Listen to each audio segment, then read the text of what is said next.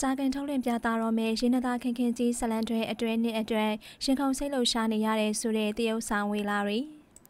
မင်္ဂလာပါပရိသတ်ကြီးရေမမလေးဝေလာရီကတော့တချင်းဆိုလဲကောင်းတယ်လို့တရုတ်ဆောင်လဲတော်တဲ့မင်းသမီးအဆိုတော်လေးတစ်ယောက်ပဲဖြစ်ပါတယ်ဝေလာရီဟာ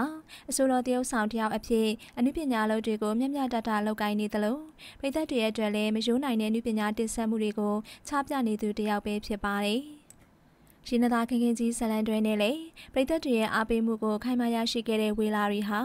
မကြခင်မှာပြသတော့မယ့်ရင်းနှသားခင်ခင်ကြီးဇလန်တွဲအတွဲနှစ်အတွဲရင်ခုန်စိတ်လှုပ်ရှားနေရပြီပဲဖြစ်ပါတယ်။ဝေလာရီက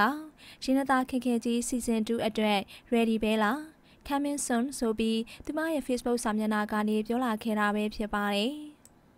ဝေလာရီကတော့မကြခင်မှာထုတ်လွှင့်ပြသတော့မယ့်ရင်းနှသားခင်ခင်ကြီးဇလန်တွဲအတွဲနှစ်အတွဲသူမအနေနဲ့ရင်ခုန်စိတ်လှုပ်ရှားနေသလိုပရိသတ်တွေကလည်းရင်းနှသားခင်ခင်ကြီးဘာတွေဆက်ဖြစ်မလဲဆိုတာသိချင်နေကြတာပဲဖြစ်ပါတယ်